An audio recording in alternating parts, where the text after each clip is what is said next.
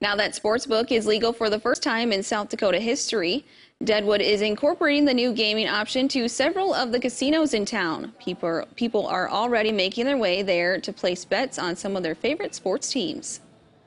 It adds another dimension to the gaming environment, and I think for people who are sports fans, um, it, it's really a plus. Of, you know, I'm, I'm glad it happened. In tonight's Eye on KELOLAND, we hear from players and casinos to give you a closer look at Deadwood Sportsbook.